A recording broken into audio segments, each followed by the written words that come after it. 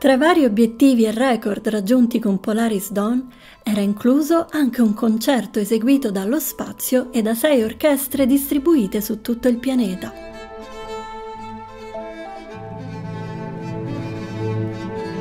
Un'occasione, ha detto Sara Gillis in diretta dalla Crew Dragon con il suo violino, che simboleggia l'unità e la speranza per focalizzarsi sulle potenzialità dei giovani di tutto il mondo e sulla loro capacità di reagire ai traumi e alle difficoltà.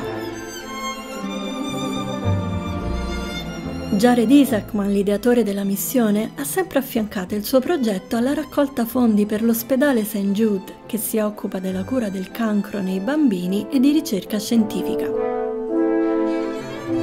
Grazie al linguaggio universale della musica, al compimento dell'ambiziosa missione e proprio dallo spazio, ha voluto lanciare un messaggio per ispirare le nuove generazioni a guardare verso le stelle, non solo per sognare, ma per lottare e perseverare e ottenere così ciò che sembra impossibile. È scritto sul sito della missione.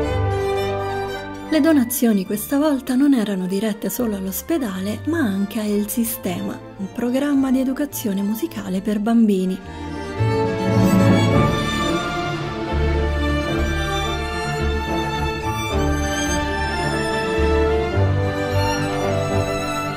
All'indomani della prima attività extraveicolare compiuta da privati cittadini, sul profilo ex di Polaris Dawn è apparso un messaggio curioso. Collegamento confermato, restate sintonizzati.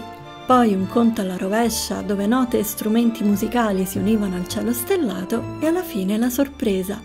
Un video di 4 minuti e mezzo in cui il tema di Re di Guerre Stellari veniva eseguito combinando strumenti di quattro continenti e un violino dallo spazio un suggestivo prodigio di sincronizzazione utile anche per testare i satelliti Starlink. L'equipaggio della missione è rientrato ieri sulla Terra con un ammaraggio nel Golfo del Messico.